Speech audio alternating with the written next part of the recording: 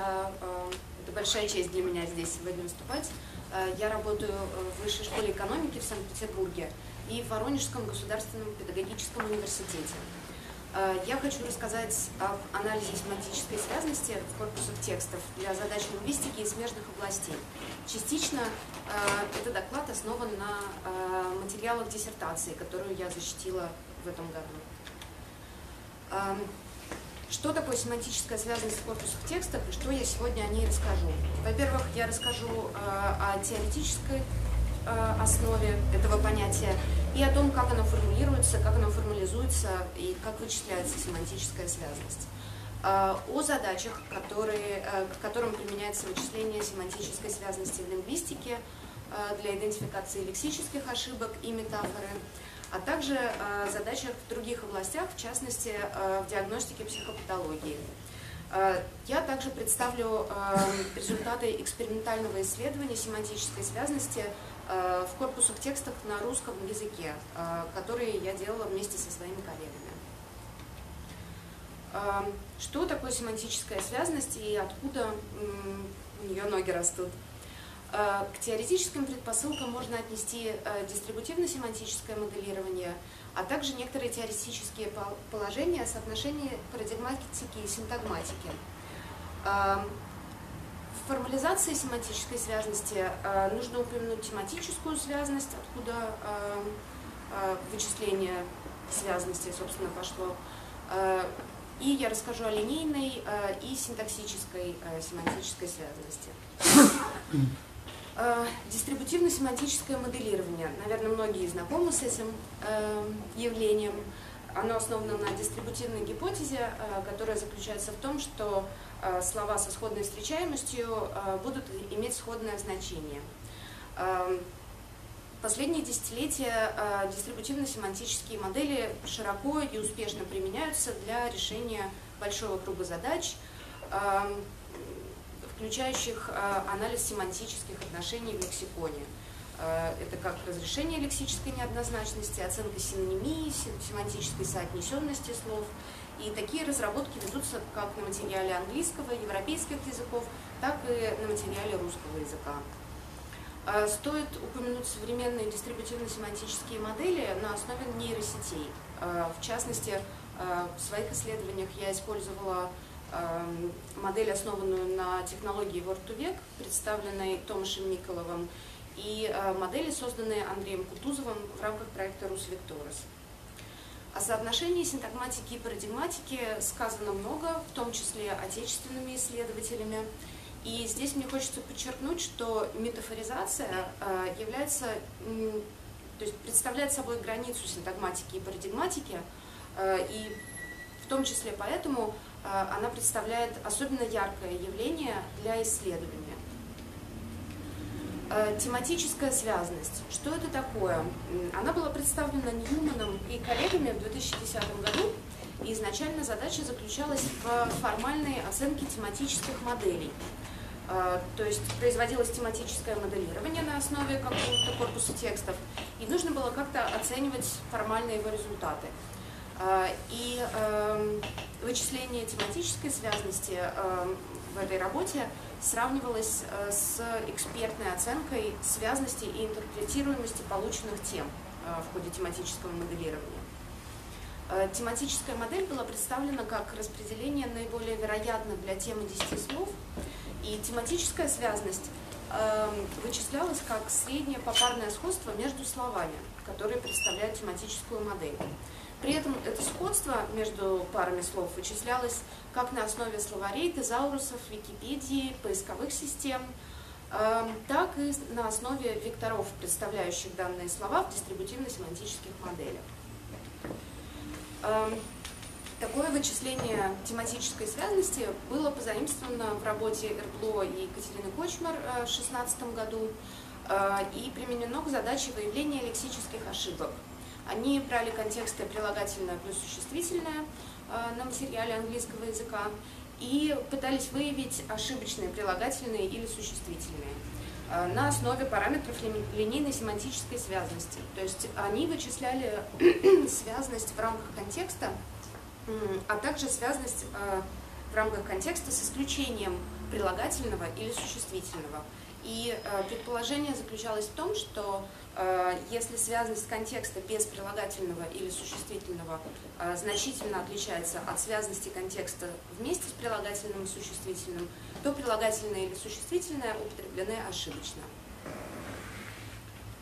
Эм, они использовали британский национальный корпус для обучения дистрибутивно-семантической модели.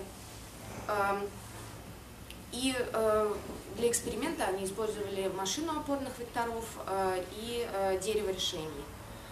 Они повысили точность классификации по сравнению с baseline на 4%, и в том числе контекстно независимым золотого стандарта на 3%. Из этого мы делаем вывод, что семантическая связанность помогла им выявлять э, лексические ошибки э, в текстах, изучающих английский язык. Семантическая связанность с синтаксическим контекстом была описана в статье Екатерины Шутовой по автоматической идентификации метафоры в 2016 году. Задача заключалась в том, чтобы автоматически идентифицировать метафору в парах слов синтаксических связях глагол с субъектом, глагол с объектом и прилагательное существительное. А, о контексте там речь не шла, то есть речь именно о парах слов. А, на материале английского языка тоже. И там были разные параметры, но в качестве одного из параметров э, использовалось косинусное расстояние между двумя словами в паре. А также э, это вообще работа по мультимодальному выявлению метафоры. Там были также э, визуальные параметры на основе распознавания картинок. Но здесь для меня значение имеют э, именно лингвистические, семантические параметры. В качестве корпуса для дистрибутивно-семантической модели использовались тексты Википедии, и они строили тоже вот эту модель на основе технологии Word2Vec. Они экспертно назначали пороговые значения э, для параметров семантической связности, то есть э, если семантическая связность в паре слов ниже определенного значения, э, тогда они делали вывод о том, что данная пара представляет собой метафору. И именно на основе вот этой меры косинус были достигнуты неплохие результаты для идентификации метафоры, Э, мера F1 для, э, от 0,71 э, до 0,76.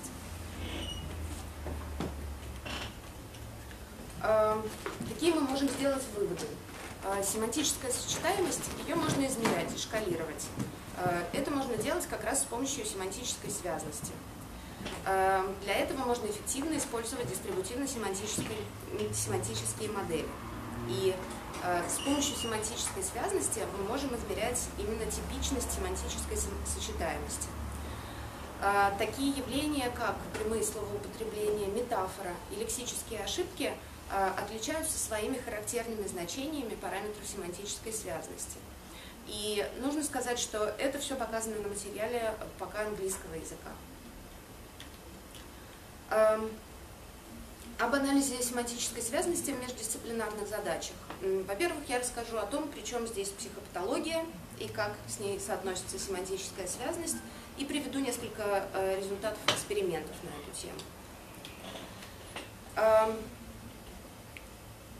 в исследованиях шизофрении у психиатров э, давно есть понятие дезорганизованной речи, э, которое включает в себя бессвязность речи.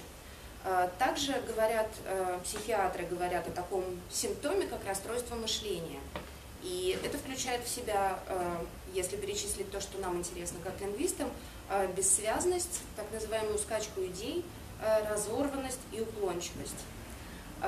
Интересным в данном контексте представляются замечания психоаналитиков, которые впервые обратили внимание на смысл того, что происходит с человеком при психопатологии. Э, в отличие от тех же психиатров. И вот эм, э, с точки зрения психоаналитической диагностики нужно сказать, что э, о психотической организации личности говорят как о, эм, о психике, которая наделяет ситуации индивидуализированным смыслом.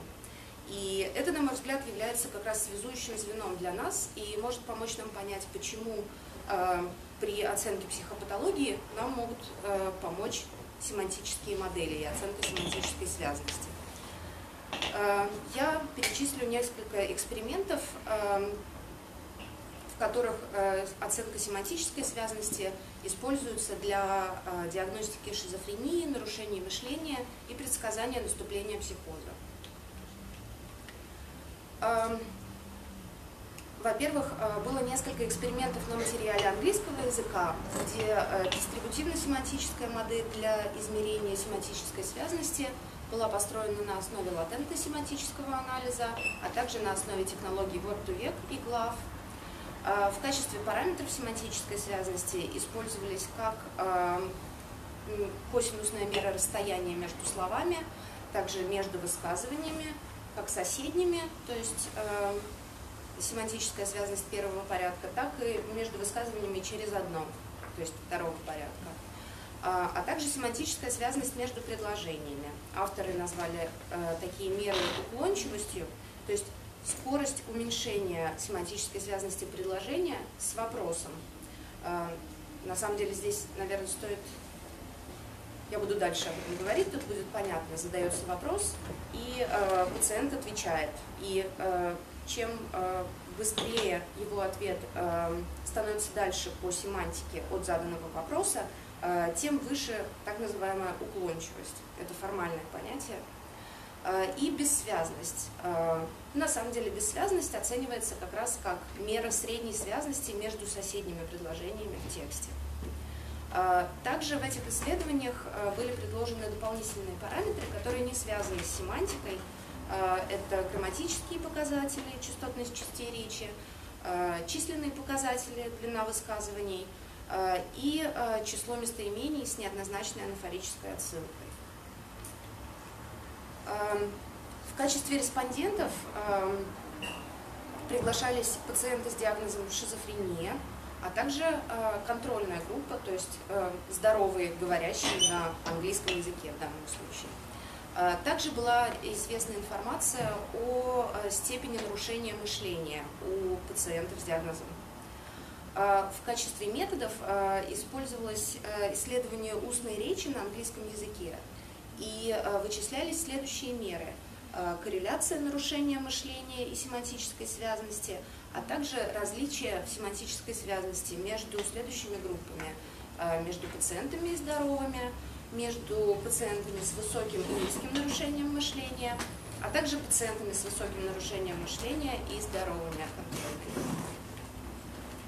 А, в качестве корпуса а, для построения семантической модели во всех этих работах используется корпус а, обучающих текстов, который считается, что говорящий на английском языке сталкивается со всеми этими текстами ко времени поступления на первый курс университета. Э, это 69 мегабайт текста, 92 тысячи уникальных слов. Э, какие эксперименты проводились? Э, во-первых, испытуемых просили дать ассоциации на слова стимулы, и в таком случае вычислялась средняя семантическая связность между стимулами и словами-реакциями. Также было задание придумать за одну минуту максимальное количество слов, принадлежащих какой-то категории, например, животным. А, тогда вычислялась средняя семантическая связанность между соседними словами, названными испытуемыми. А, также было предложено дать свободные развернутые ответы на вопросы типа «Что такое демократия?», а, «Что нужно делать для того, чтобы попить кофе?» и какие-то такие либо вопросы ежедневные, бытовые, либо более философские или социально острые. А, в таком случае для измерения семантической связности использовалось подвижное окно слов от 2 до 8 и вычислялась скорость уменьшения семантической связности а, внутри окна.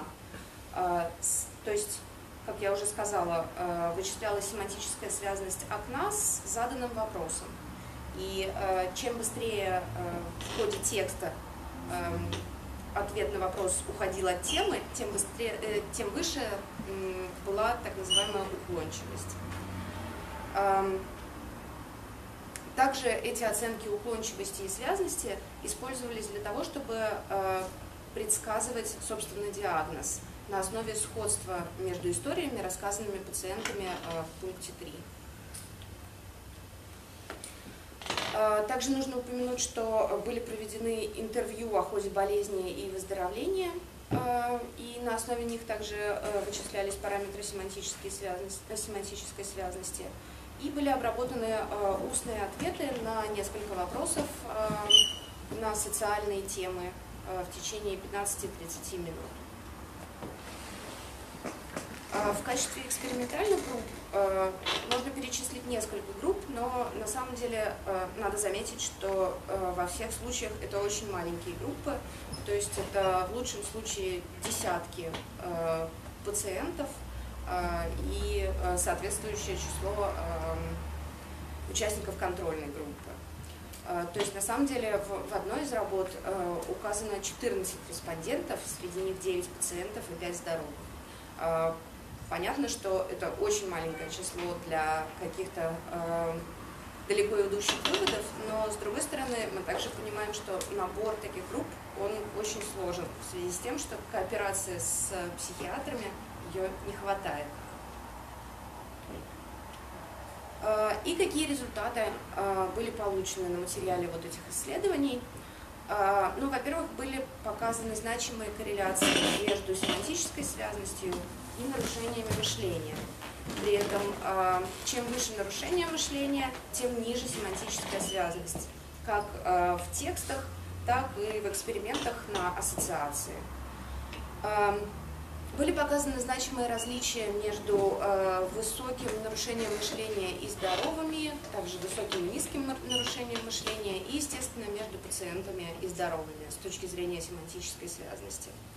Э, также полученные э, метрики показывали высокую корреляцию с экспертными оценками уклончивости, связности и содержательности. То есть, когда человек читал текст и э, сам пытался оценить, э, насколько данный текст является связанным.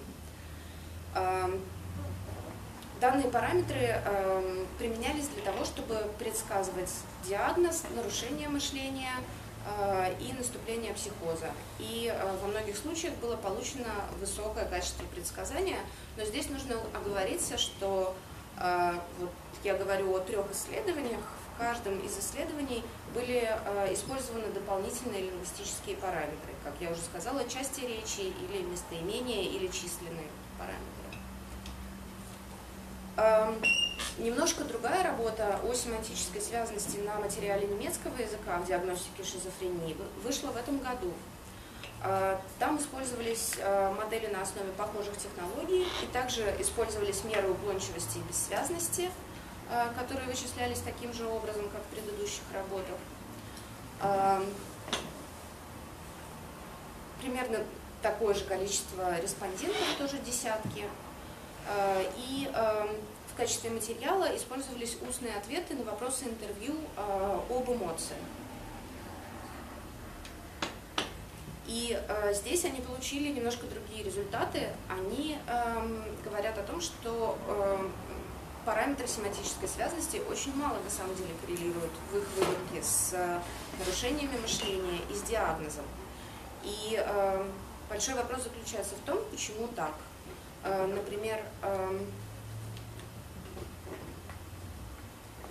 они использовали семантическую модель, которая э, была, э, в которой не было никакой морфологической обработки.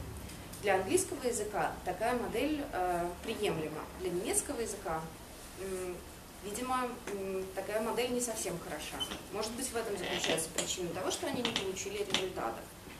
Э, может быть, нам нужно осторожнее относиться к этой гипотезе о том, что семантическая связность э, действительно нам что-то говорит о нарушениях мышления и о психопатологии.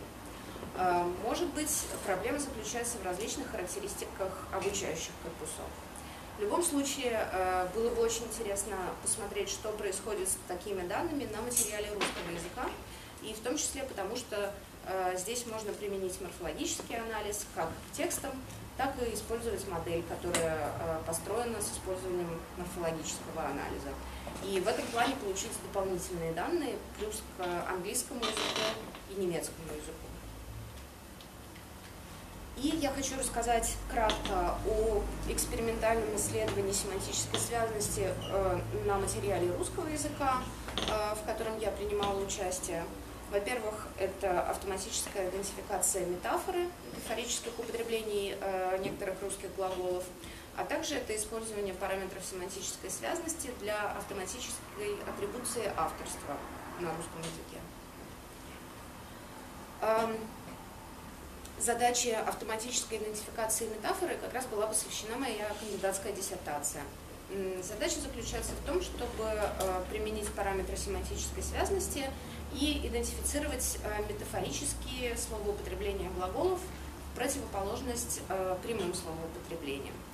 В качестве данных мы использовали около тысячи размеченных контекстов прямых метафорических словоупотреблений для девяти русских глаголов – это глаголы бомбардировать, взвесить, взорвать, выкраивать, зажигать, очертить, пилить, разбавлять, распылять.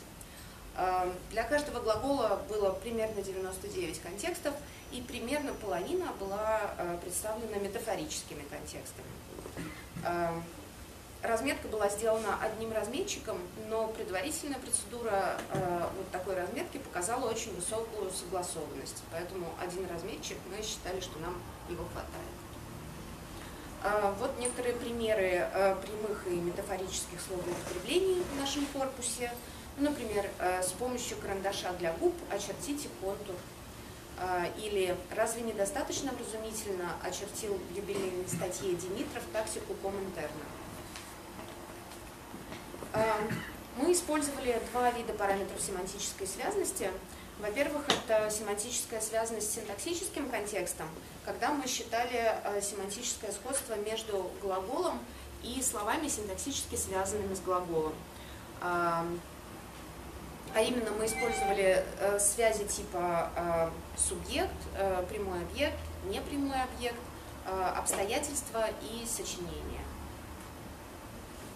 Здесь представлены также примеры контекстов из нашего корпуса и примеры того, как э, наш анализатор разобрал эти контексты, то есть какие слова в данном случае э, играют какие синтаксические роли и как они учитываются в э, вычислении семантической связности. Э, также мы вычисляли параметры линейной семантической связности, э, когда мы э, посчитали попарное сходство э, между словами в контексте э, вместе с глаголом, а также отбросив глагол из контекста, и разность э, между значениями вот этого среднего попарного сходства. Эм, здесь представлены примеры э, из нашего корпуса, и эм, в данном случае в контекст плюс-минус два слова э, глагола «распылять» у нас получилось в первом предложении в примере для прямого значения это давление, мелко, окружающий воздух. А во втором случае для метафорического значения глагола «распылять» это политические амбиции, ресурсы, сосредоточиться. А в качестве дистрибутивно-семантических моделей а, мы использовали модель на основе национального корпуса русского языка, около 100 миллионов словоупотреблений, а также национального корпуса и Википедии, чуть меньше 300 миллионов словоупотреблений. Э, наш эксперимент был основан на э, алгоритме машины опорных векторов, э, на трехкрасной кросс-валидации, и мы посмотрели результаты для каждого глагола отдельно, плюс в комбинированной классификации для всех глаголов вместе. Мы получили точность автоматической идентификации метафоры для разных глаголов очень разную, от 0,56 до 0,93.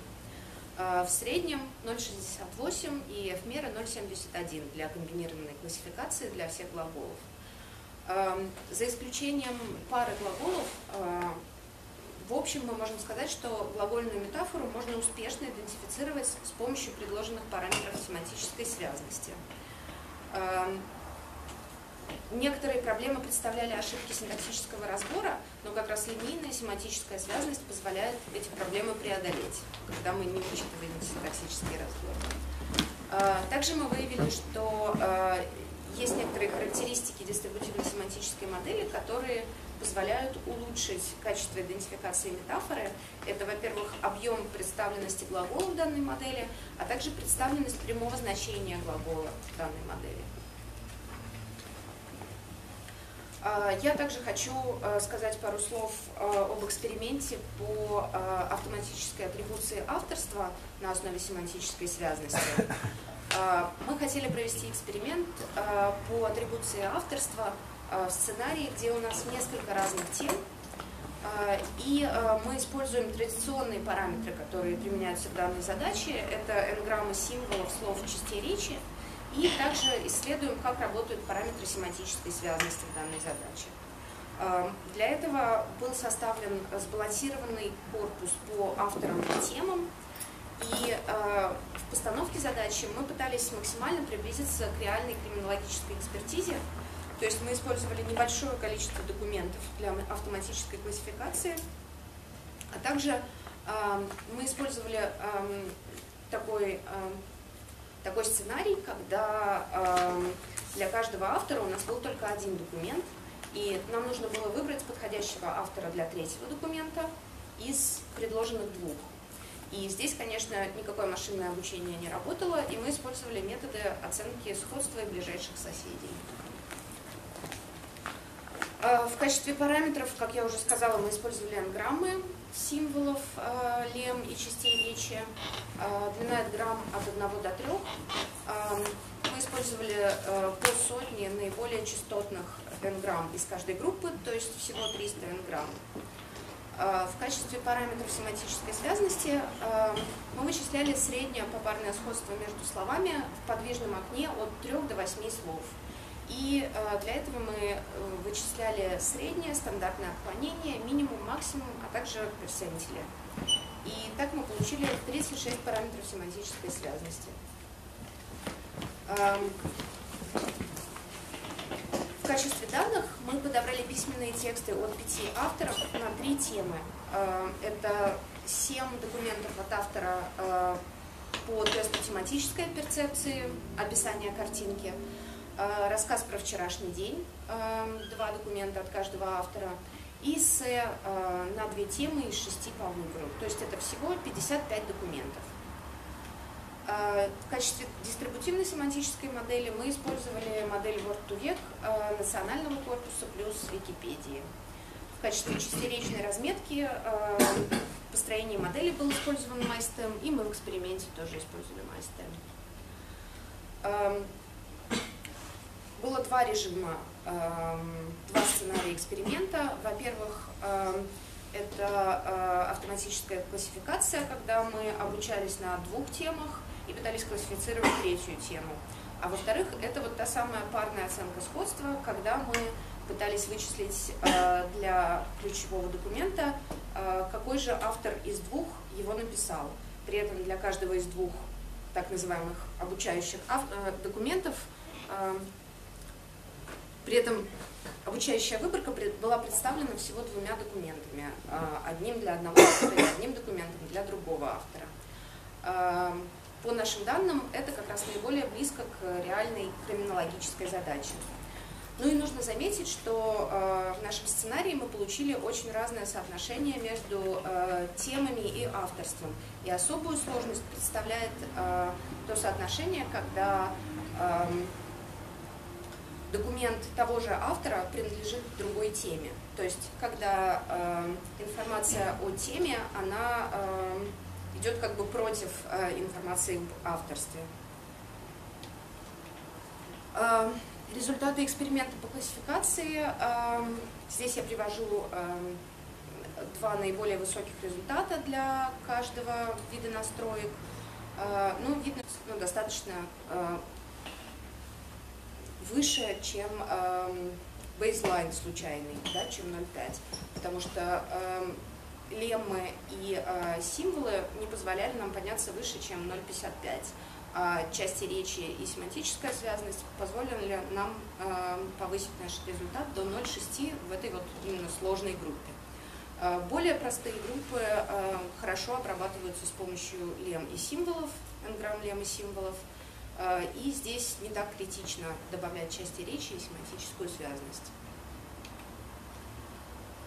Эм, как я уже сказала, результаты очень сильно зависят от типа соотношения тем, и семантическая связанность э, оказалась полезной, потому что не зависит от тем.